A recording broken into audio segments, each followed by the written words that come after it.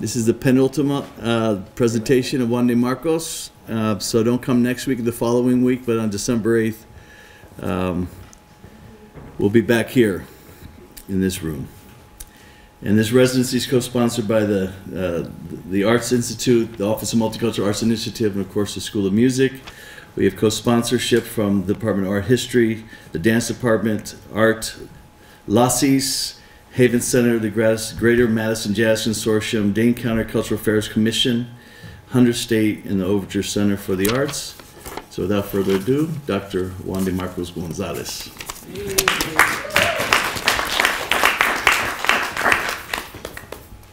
Well, thank you for coming tonight.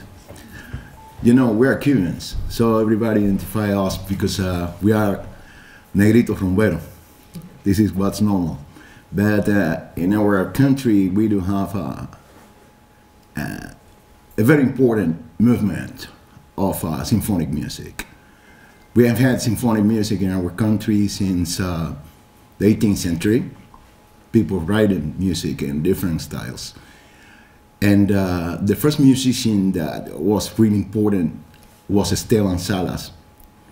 Previously, I've talked uh, about uh, Esteban Salas, who was the first uh, composer that we really have news about. There was one more, Juan Paris, but uh, there's no music. We have been unable to find the music of Paris. But we do have the music of Esteban Salas, and we're going to be talking about him today, tonight. Uh, you know, the Cuban music is huge. The popular Cuban music is very important, and that's why, uh, perhaps, this is one of the reasons why the symphonic Cuban music is not that well known in the world. But we have had, as I've said before, composers from the, let's say, classical period, Baroque period, up to the serial music, 12-tone music, and all kind of the different styles of the symphonic music in, in our country. Uh, the first works uh, about, I mean, the first works uh, in the Baroque style were made by Esteban Salas. I have said before, Esteban Salas was a, a, a priest and he was uh, working at the uh, Cathedral of Santiago de Cuba for a long time. We're going to put a couple of examples of how the Cuban music have been treated by uh, really important composers. I have uh, examples of uh, uh, American composers. Aaron Copland wrote a danzón based on Cuban music. Of course, if you listen to the danzón of Copland, it's very far away of the normal danzón that we have performed in our country for years. Uh, Bernstein was uh, conducting for the, uh, a symphonic ensemble for Broadway, a cha-cha-cha, but indeed uh, they are really far away. Even Gershwin also wrote music based on, on Cuban music, especially in one song that became uh, pretty famous during the beginning of the century, a song, traditional song by Ignacio Piñeiro called Échale Salsita. We're going to listen to a normal cha-cha-cha.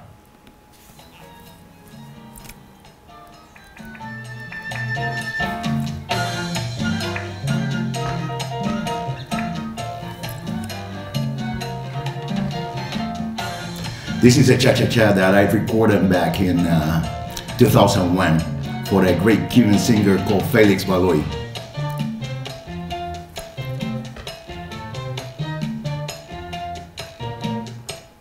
And this is the Bernstein cha cha Cha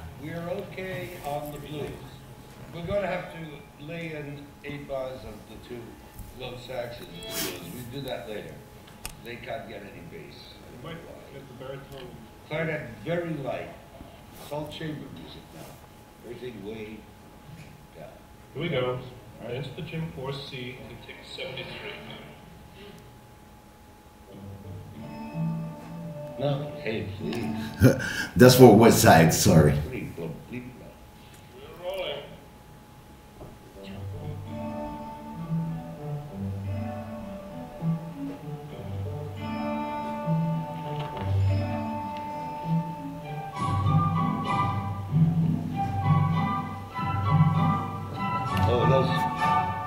Those pitch drums are much too low. It should be so elegant and hmm? little high ones. And tambourine, just touch it, just as lightly as possible, right? You better go back. It's take 74.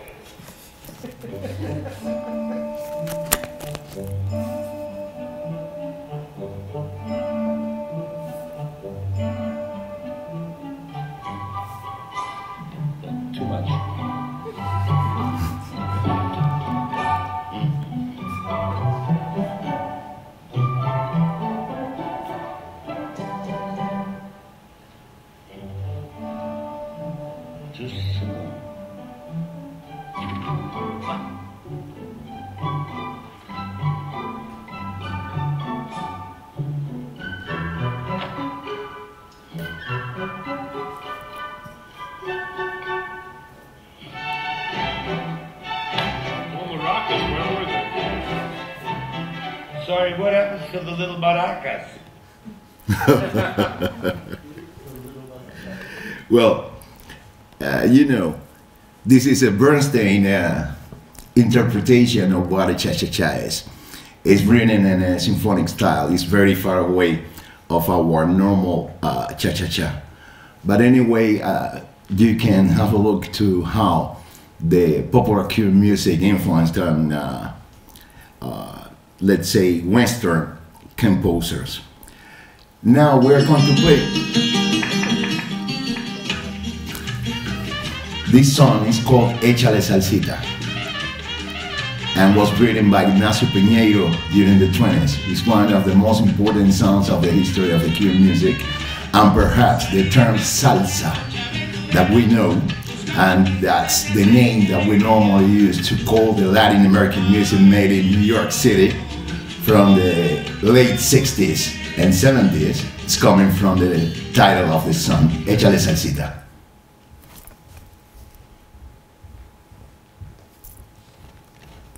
And now, listen to Gershwin.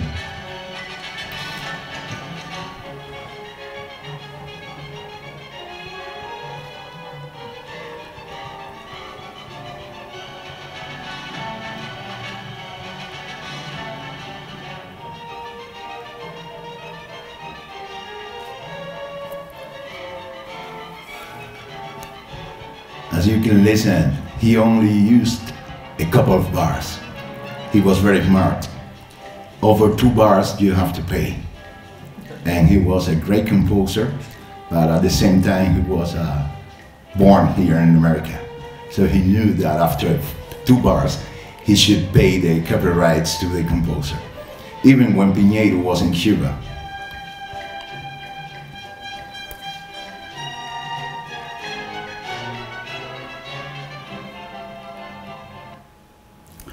Well, Esteban Salas, I told you, that was uh, our first uh, serious composer. He studied counterpoint, he studied violin in the parish church of Havana. At a certain point of his life, when he was uh, in his uh, 30s, he went to Santiago de Cuba, where he was appointed as uh, the master trois of the uh, Cathedral of Santiago de Cuba. He was a Baroque composer he wrote a lot of music, basically messes.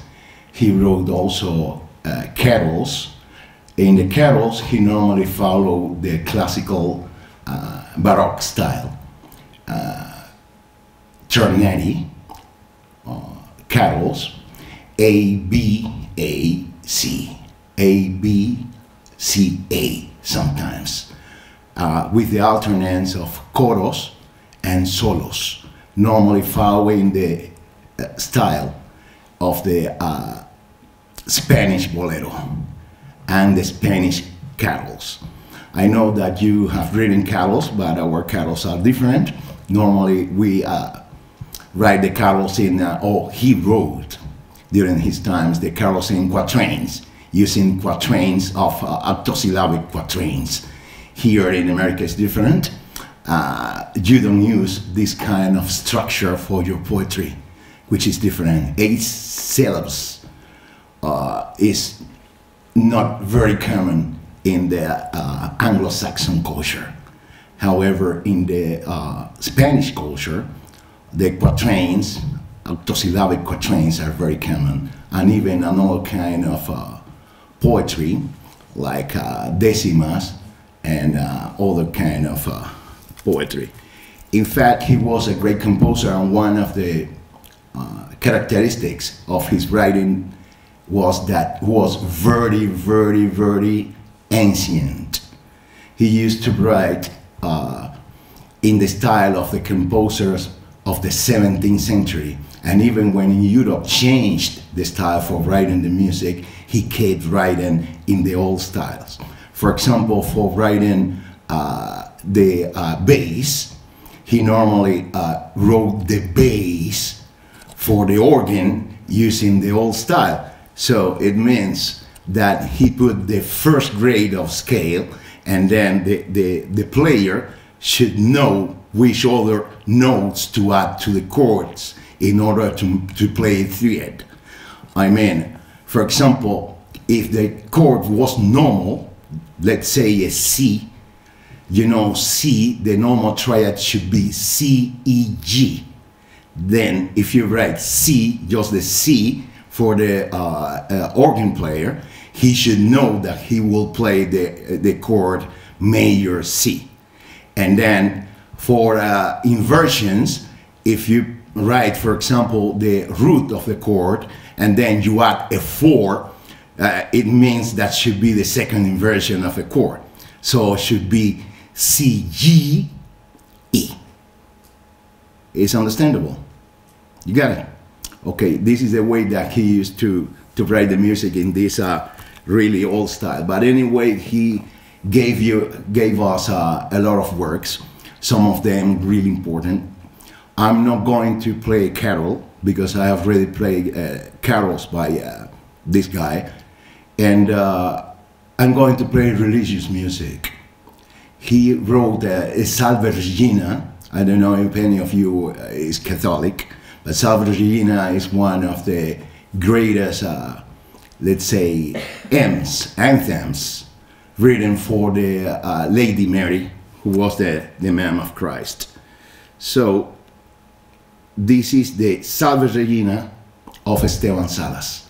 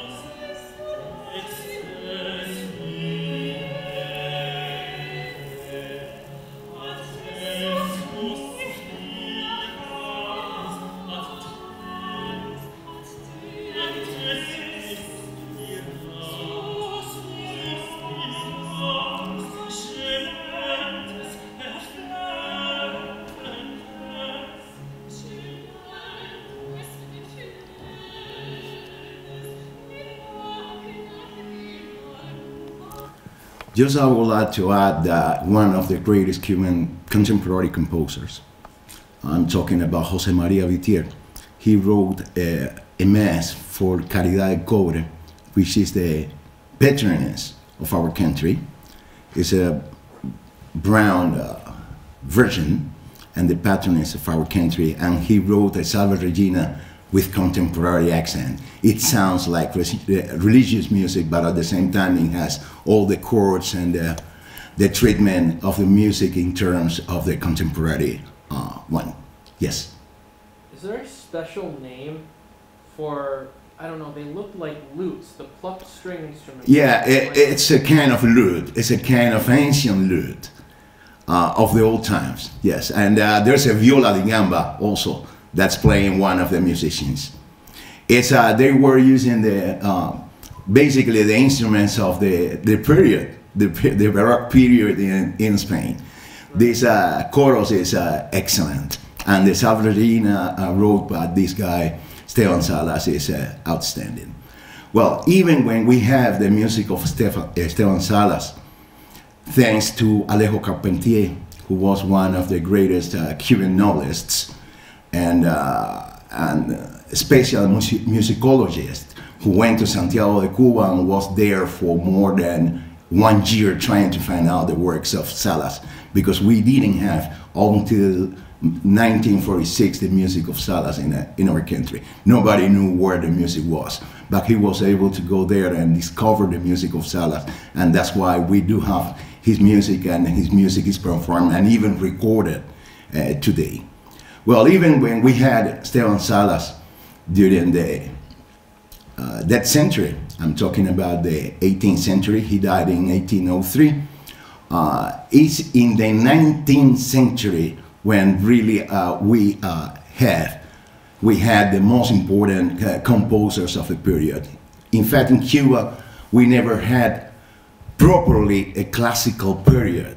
So we switch from the Baroque music straight to Romanticism, but using with certain classical elements in the music. And uh, during the period, during the uh, 19th century, we had the most important, some of the most important Cuban performers as well. And uh, it's very curious because uh, some of them were black.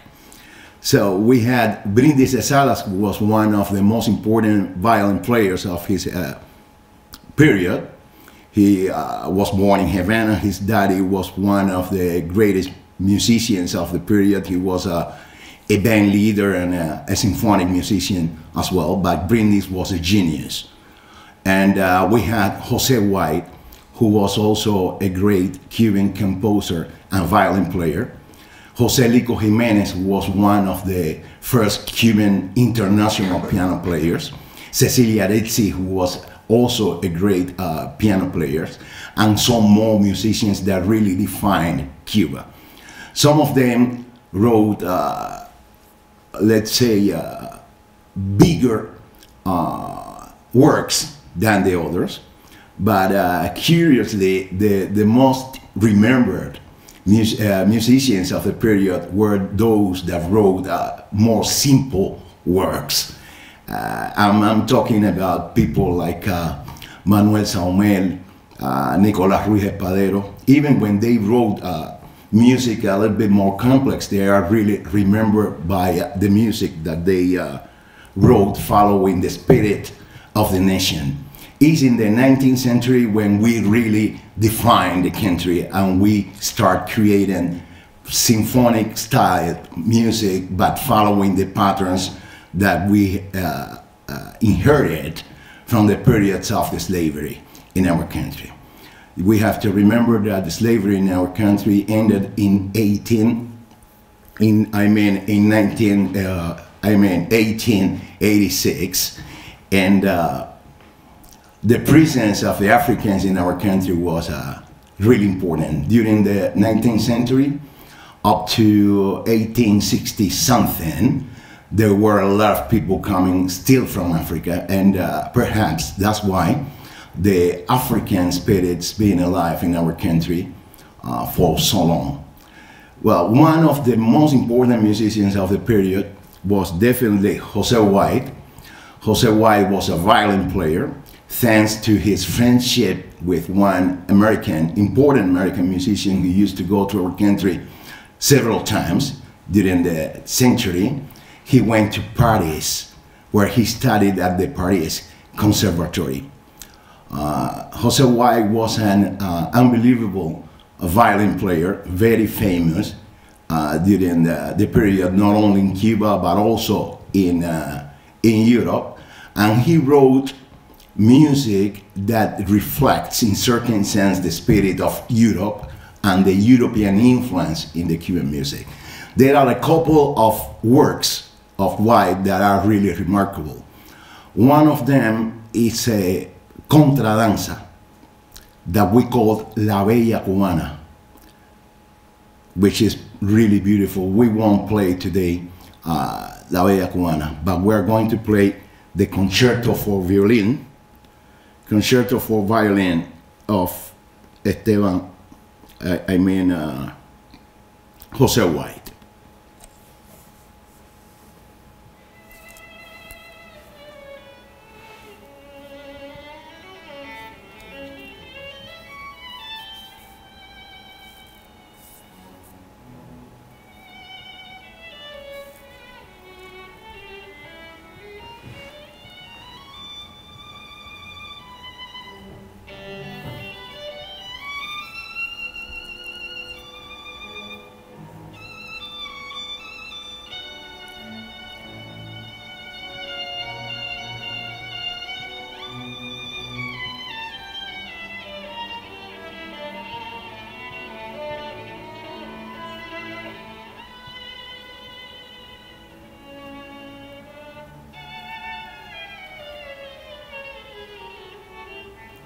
Double string.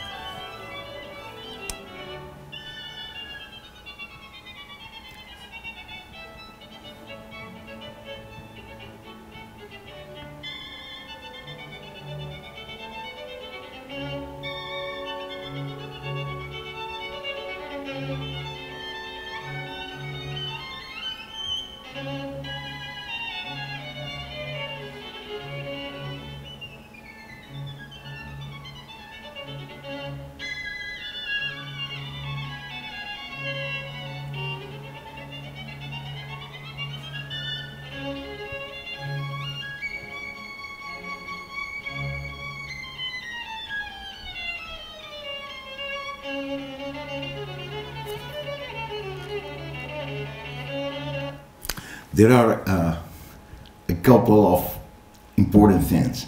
First, he wrote the concert in minor F sharp, which is a difficult, really difficult key for the violin players. And he wrote it, I think, purposely to show the world that he was a great composer and a great performer. And there's one more thing. This music was lost for years. And it was uh, an American uh, researcher and musician, Paul Glass, the guy that found the scores of this music in the Conservatory of Paris, in the library of the Conservatory of Paris. And then he and Kermit Moore, which is a great uh, North American uh, conductor and musician, they put together the score and then for the first time in this century, this uh, music was performed uh, by the New World Symphony Orchestra, uh, conducted precisely for uh, by Ker Kermit Moore. So, uh, in certain sense, you are linked. You Americans are linked to this uh, beautiful music. So let's keep listening to the second movement of this great work.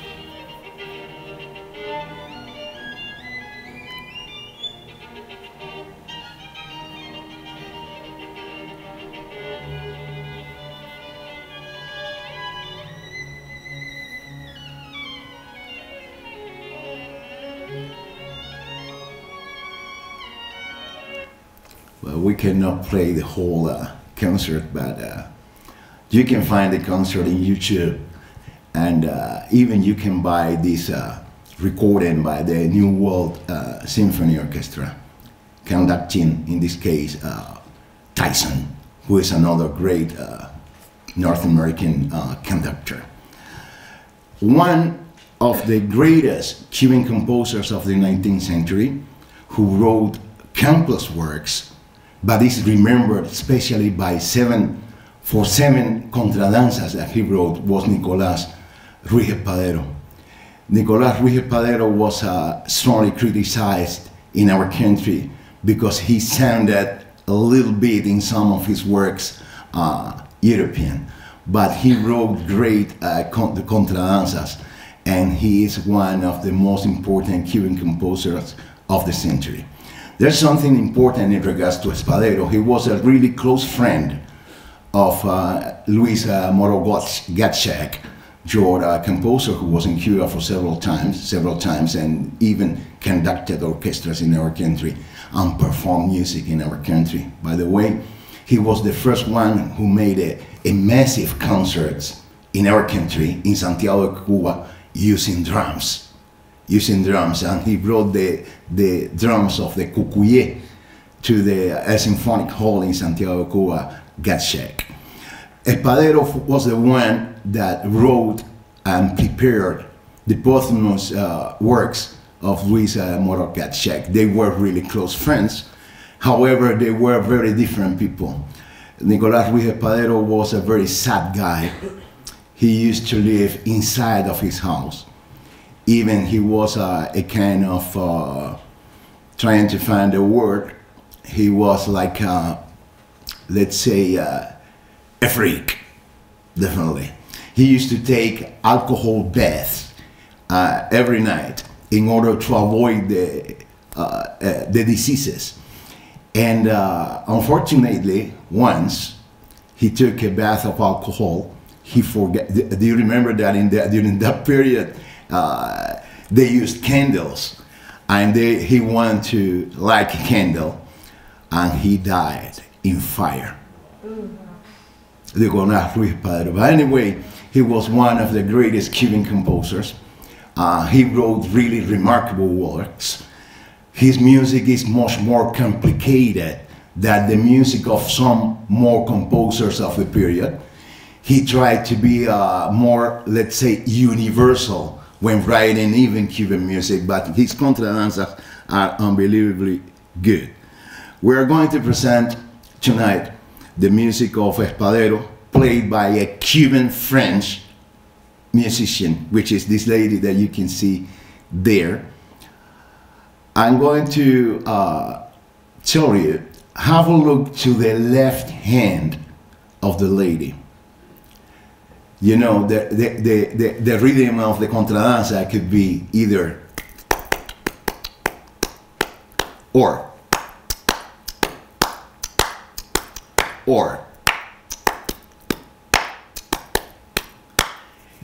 She's very good. She's a very good piano player, but she, she sounds a little bit uh, foreigner performing uh, this uh, work of Espadero. So, Lydia Salomon, Cuban French, performing the music of Espadero.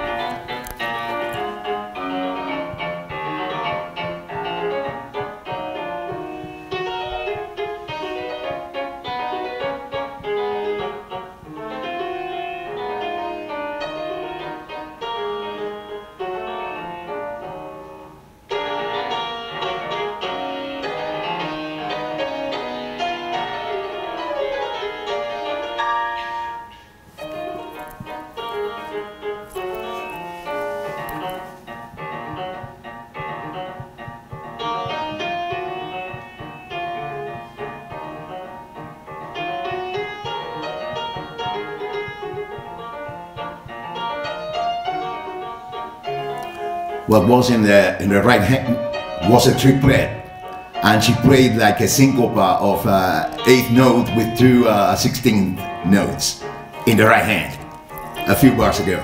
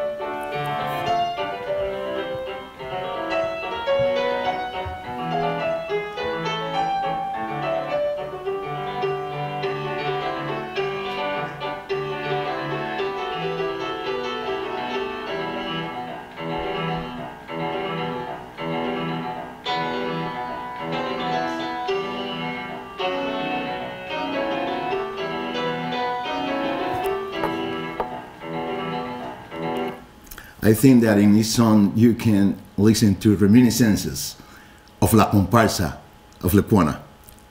Do you? Well, it's a, it, it was a great work, and uh, really Espadero was one of the greatest composers of the period. One more great musician of the period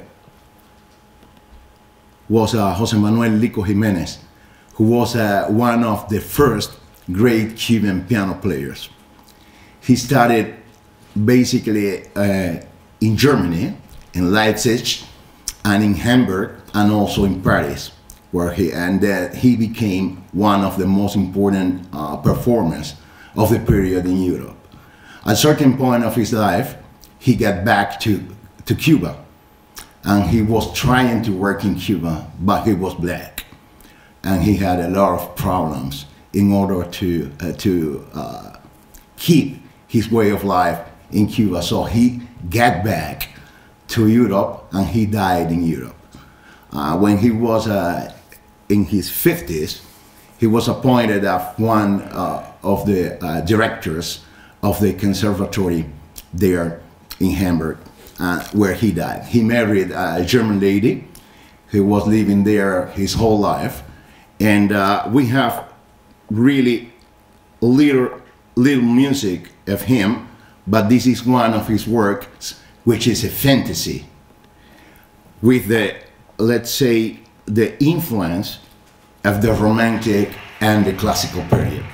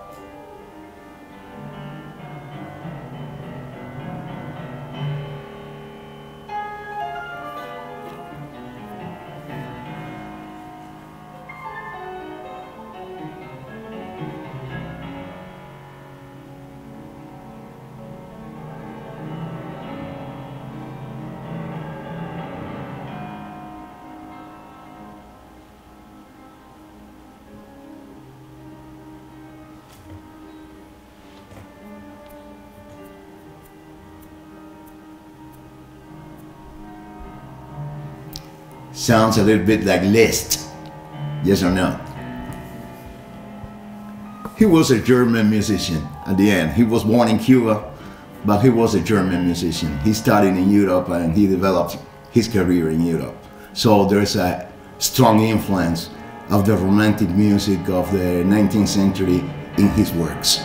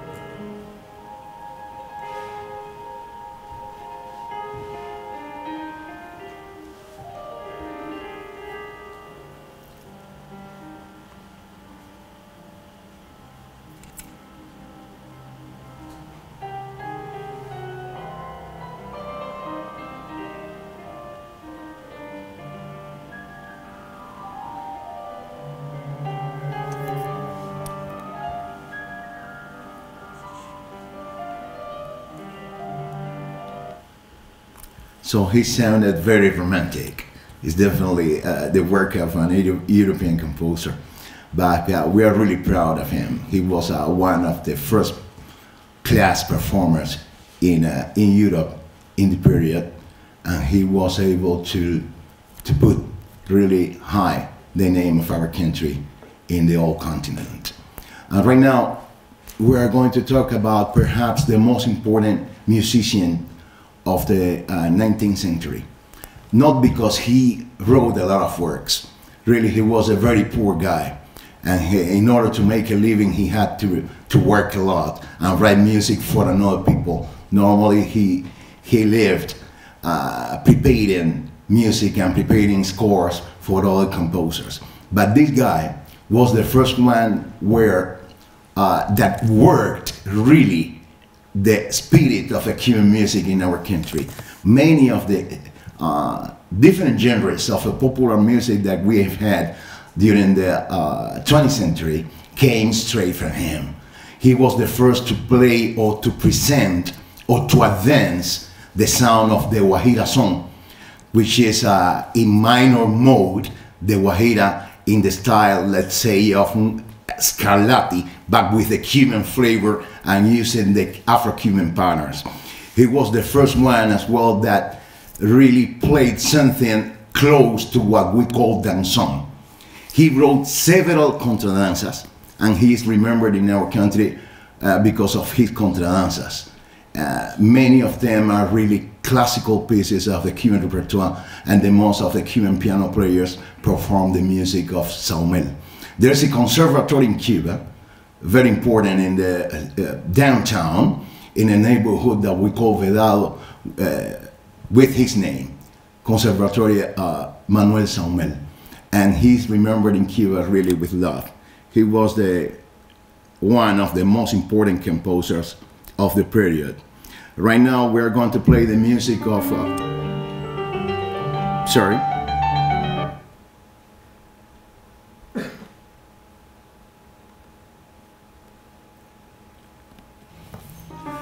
Three of the contradanzas of. Now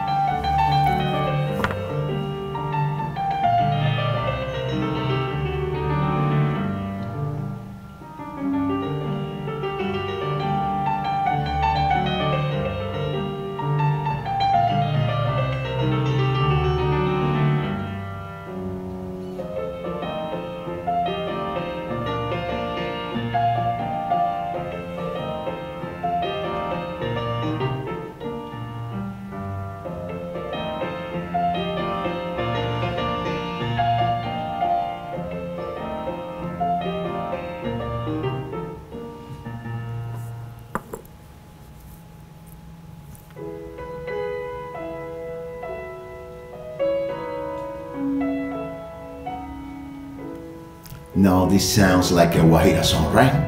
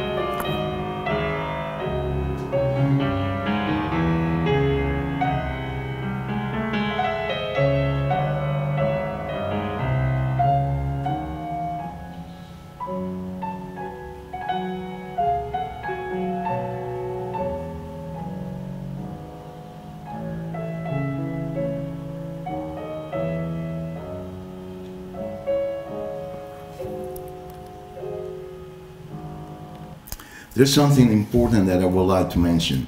The structure of a contradanza is AB,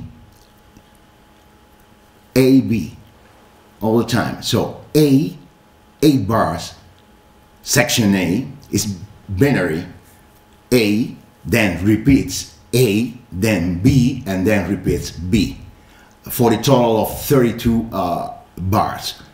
In the case of Saumell, normally he wrote the first part, the first time that he plays the section A, it is normal section A. And then when he repeats the section A, it's the section A but with variations on the on the on the music of the section A, and he does the same thing with the section B. That's what you have heard right now in this kind of music that sounds a little bit like Guajira song that we developed during the 20th century.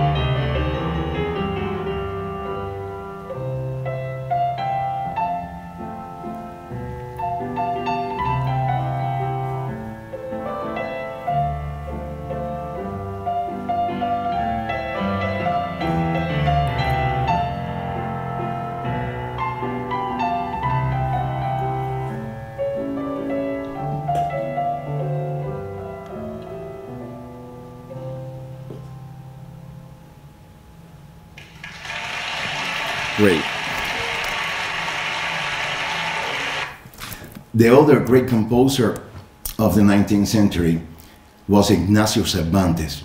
Ignacio Cervantes uh, was a student of uh, Luis Moreau Gottschalk and Nicolás Ruiz Espadero. And thanks to uh, Gottschalk, he went to Paris as well. He studied there. He uh, won the first prize of composition and uh, performing as well in Paris, and then he got back to Cuba and uh, started performing in our country. He wanted to make uh, bigger works, but he, is remembered by his uh, contradanzas.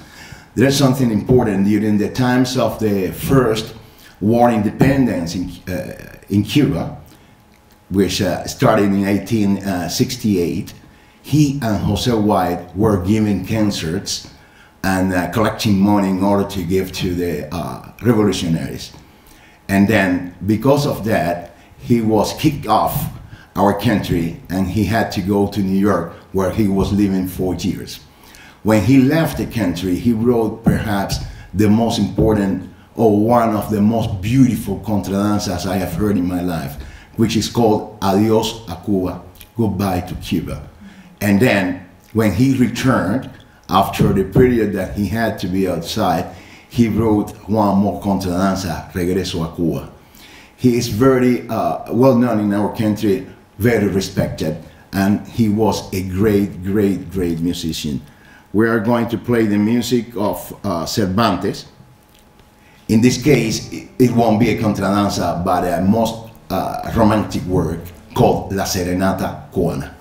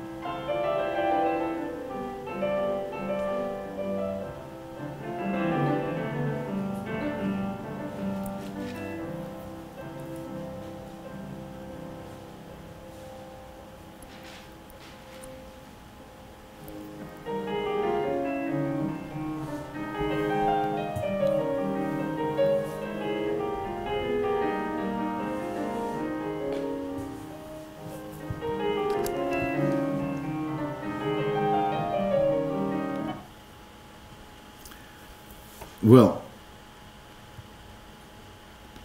this uh, we have been watching and listening the music of the 19th century, the music influenced by Europe, but at the same time very Creole, with the spirit of a nation, using sometimes the patterns that we do have and that define our culture. During the 20th century, uh, we had perhaps the most important, some of the most important composers of the of the island. There are two, especially two special composers who began using the elements of the avant-garde music of the uh, 20th century and mixed this element of the avant-garde music, uh, European avant-garde music with the roots of the Cuban music, using sometimes even uh, drums on stage. We are talking about uh, Alejandro Garcia Caturla and Amadeo Roldán. Also, we did have uh, Grupo de Renovación Musical, who was a, a group created by one Spanish uh, composer who came to our country. And then he uh, created a group of composers and people interested to develop the spirit of the contemporary and avant-garde music in our country.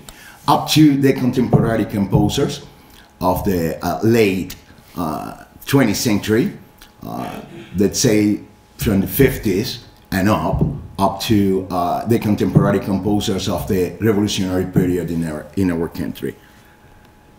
The most, in my opinion, the most important composer of the 20th century in our country was Amadeo Roldán.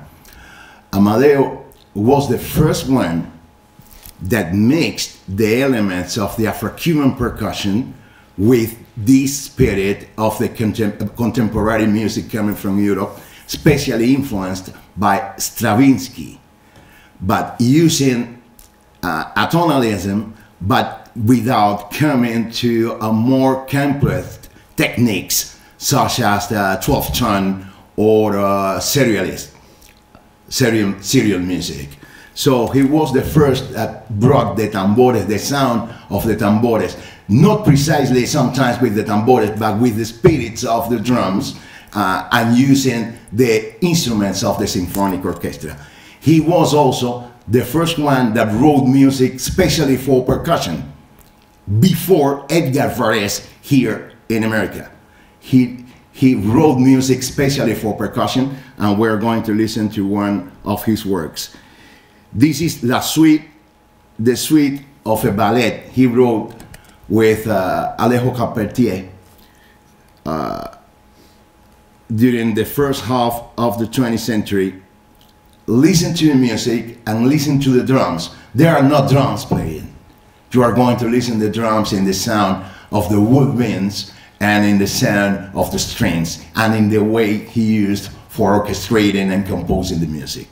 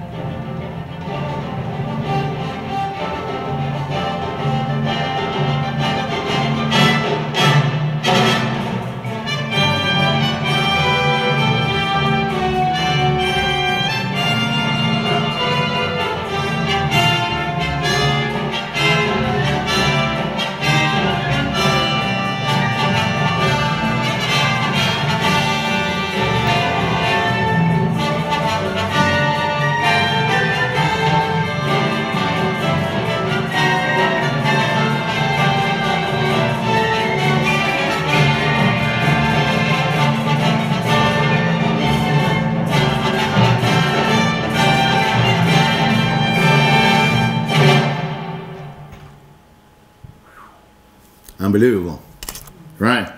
You can you can listen to the sound of the drums. He's playing six eight.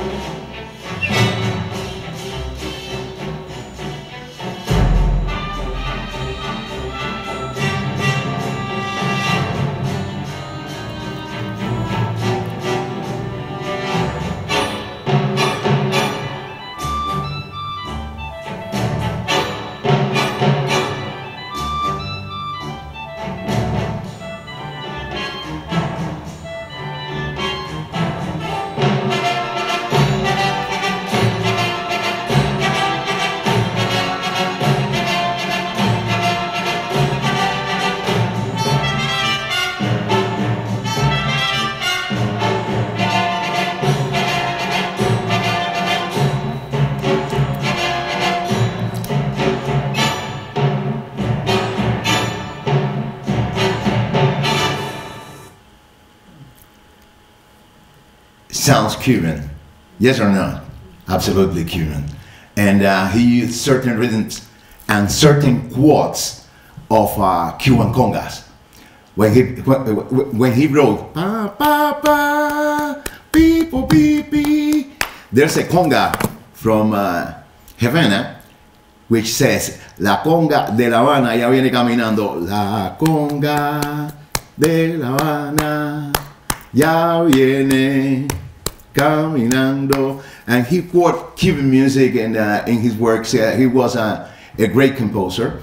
He also was a, an excellent violin player and an orchestral conductor. He was one of the conductors of the symphonic uh, philharmonic orchestra, the symphonic orchestra in, in, Cuba, and also was the first violin of the uh, philharmonic orchestra in our country. Uh, and right now we are going to listen. These these pieces were written before Varese wrote the first works here in America using just percussion instruments. We are going to uh, uh, listen just a fragment because otherwise we don't have time to play everything today.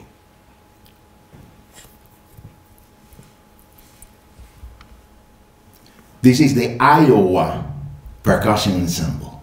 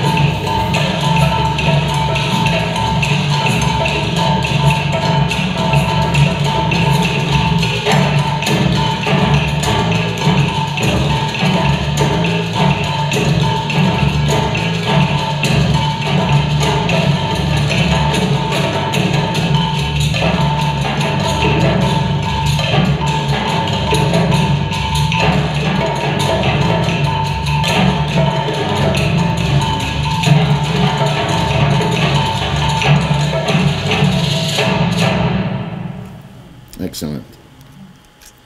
Well, the other great Cuban composer of the period was uh, Alejandro Garcia Caturla. I could say that uh, both this duet, Caturla and uh, Roldán, they defined the future of the Cuban music from the early uh, 20th century. Caturla also wrote music based on uh, Afro-Cuban rhythms. There was one difference between they two. Caturla never had uh, studies of orchestral conduction, so he was too aggressive. And sometimes he wrote music for the instruments in the registers that, the, the, that should be too difficult for the performer to uh, execute. Uh, this is the difference between Caturla and Roldán, but they both were based on the Cuban music and were excellent composers. One more thing about Caturla. Caturla was of the central part of the island, which was very racist during the uh, first half of the 20th century. But he got married twice with black ladies during that period. I'll tell you more. He once was uh, married to these two ladies at the same time. Unbelievable. And uh, he also composed popular music. He created one of the first jazz bands in Remedios, there in the central part of the island. And he wrote danzones as well. He was uh, as good as a popular musician as a, a symphonic composer. Uh, we remember Caturla really with love. It's one of the glories of the Cuban music. This is the New World Symphony Orchestra in the Tres Danzas Cubanas of Alejandro Garcia Caturla. Check that, he is much more aggressive.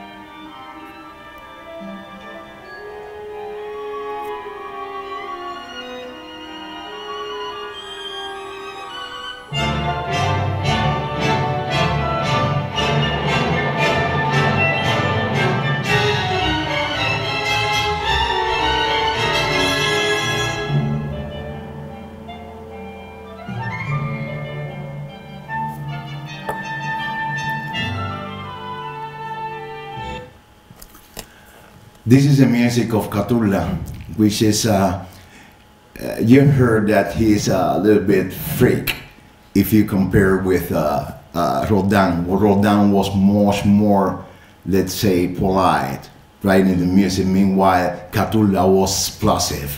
And in this music, you cannot hear this really the explosion of Caturla, but anyway, you can listen the spirit of the Cuban music and that he was a different composer than Amadeo Roldán. Then, uh, from about 1934 came to our country, or, or, before 1934 came to our country, one of the greatest uh, composers we have had in Cuba. He was uh, born in Spain, but he moved to Cuba, and then uh, he was trying to help Cuban musicians to bring the spirit of the contemporary European music to Cuba in the same way that Caturla and Roldán did before. So he created a group that was called Grupo de Renovación Musical, where they not only, uh, let's say, di discussed and analyzed the uh, scores of the great uh, European composers of the period, but they also uh, had a magazine. They prepare expositions of painters, and they were really an important group in the history of the Cuban culture of the period. The creator of this group was the uh, composer Jose Ardévol. Jose Ardévol, he tried to bring to this group the spirit of the music of Stravinsky, but we are talking about the second period of Stravinsky with the neoclassical music, this kind of style. And he was the teacher of many of the greatest Cuban composers of the uh, uh, older periods. I mean, after uh, even uh, after the 50s, I'm talking about people like Harold Gramatges, Edgardo Martin, he was the teacher also of Julian Orbon, who was a great composer who died here in this country and was working in this country for years. Uh, also Aurelio de la Vega, who is perhaps the most important uh, Cuban composer uh, alive right now in this moment. At least he's the most played Cuban composer uh, in his style which is a 12-tone dodecaphonic style and serial music and this kind of really uh, difficult uh, music. Ardévol was uh, a very important uh, composer and a very important person in the development of the symphonic Cuban music in our country. And here we're going to listen a, a sonata written by Ardévol just for guitar.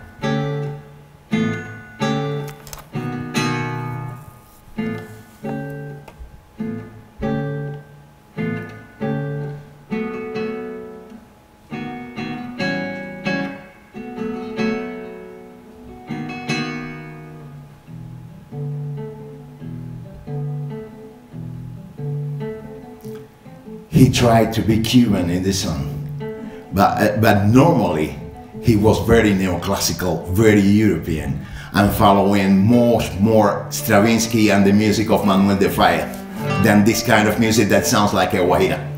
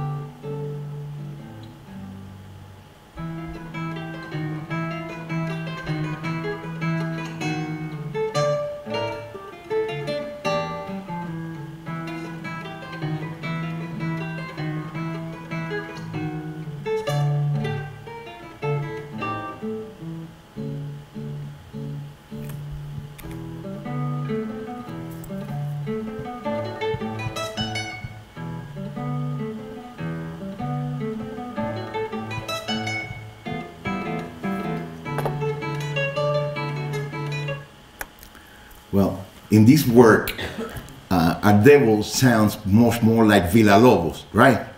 Sounds more like Villa Lobos and uh, sounds very Creole. But normally he wrote music in the uh, neoclassical style. And the only one, the only musician that really followed him in this kind of work uh, with the neoclassical music was this gentleman, Hilario Gonzalez. Hilario uh, went to Venezuela once with uh, Alejo Carpentier just for uh, a concert and to prepare certain works in Venezuela. But he uh, kept living in Venezuela for years and then he got back to Cuba and he wrote music mixing elements of the uh, Afro-Cuban culture with the neoclassical uh, European uh, style. We're going to play one work of uh, Hilario, which are congas. So he wrote congas following the patterns of the neoclassical music and mixing these elements with the uh, uh, conga cubana.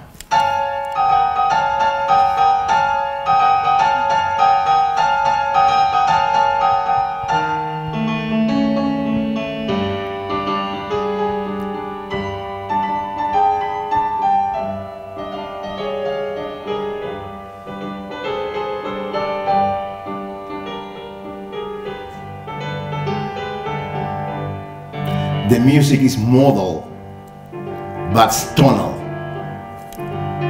which is very important.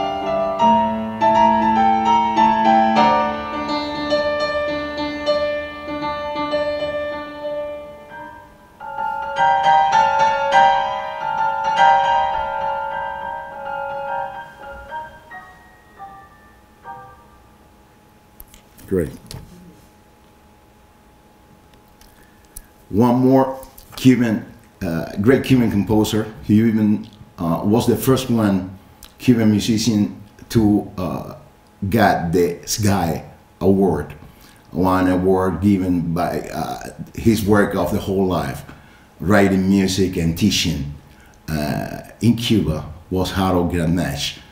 Harold is not a neoclassical uh, composer. He was much more uh, within the uh, parameters of the serial music, but also he wrote music based on the Cuban spirit in the kind of movement that we call folklorism. He died uh, just a few uh, years ago, and this is a kid. He's only eight years old performing the music of Harold. He's a savant, the kid. He's unbelievable.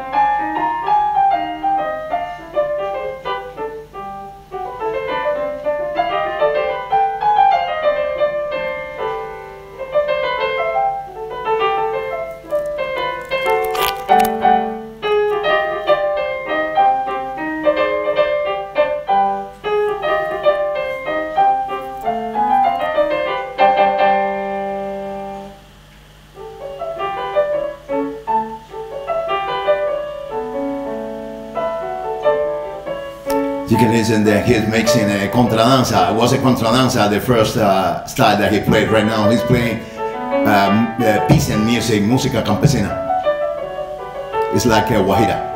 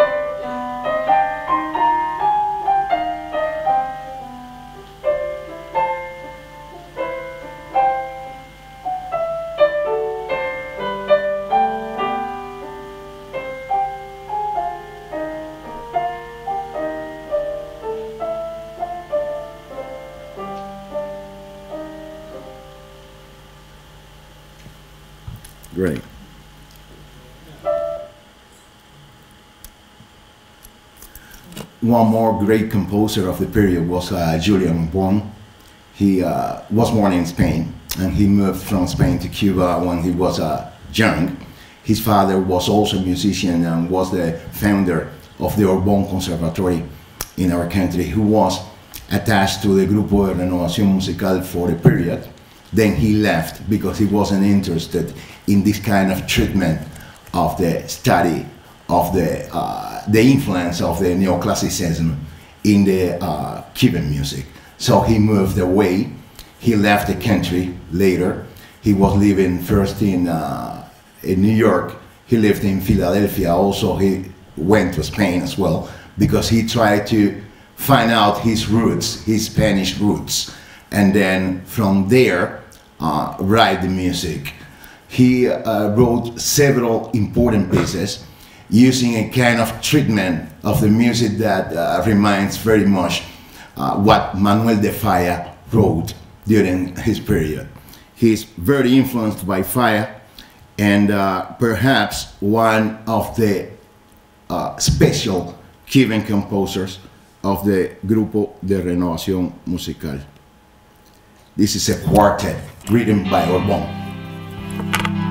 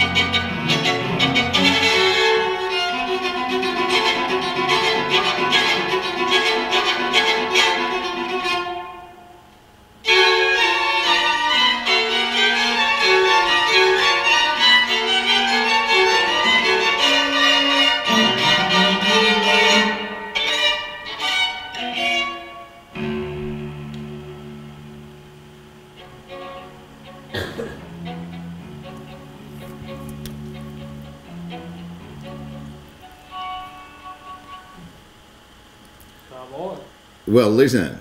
Ya, tiene sabor, eh? Oh. yes. Well, there are two composers of the period, and one of them I would like to introduce to one of the uh, composers because he's perhaps the only one of the Cuban composers that didn't follow uh, strictly, let's say, a folklorist way for writing the music. He wanted to write a kind of international and universal music following the patterns of uh, contemporary uh, techniques, such as the 12 tone music and the serialism.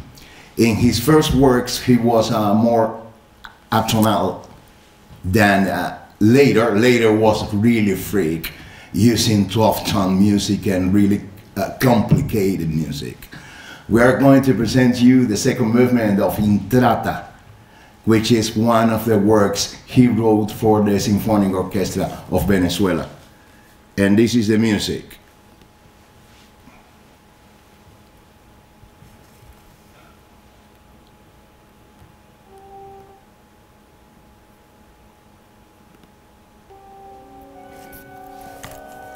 Aurelio de la Vega.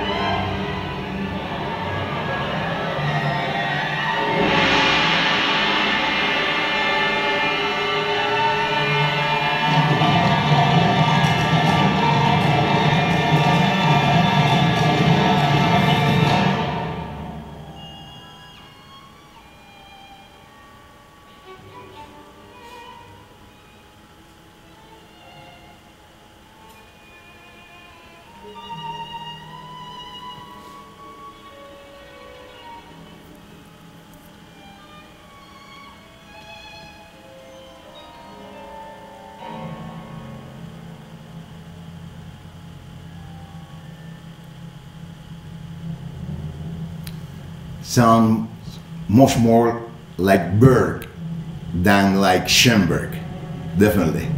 It's a tonal music, but it's more Berg than Schoenberg.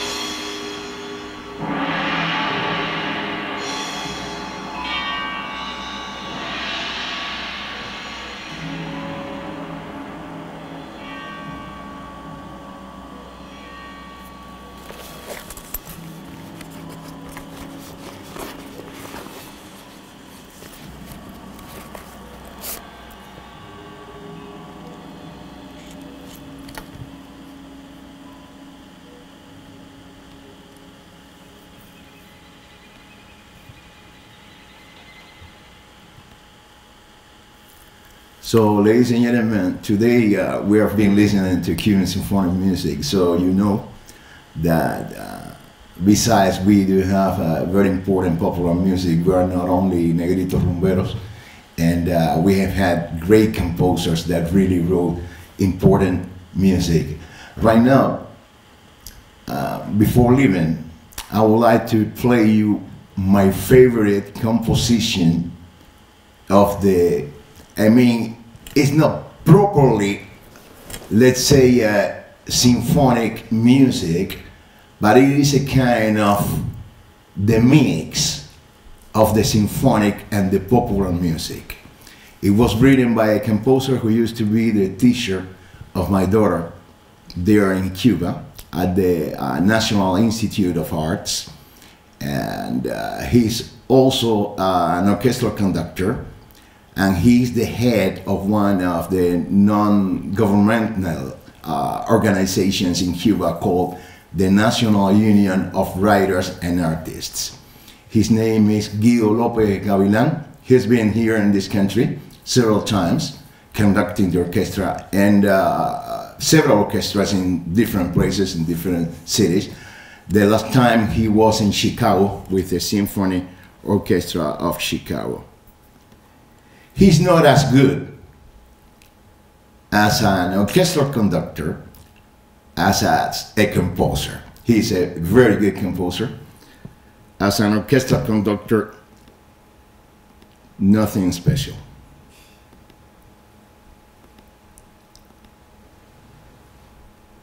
and this is my favorite song. Check the sound.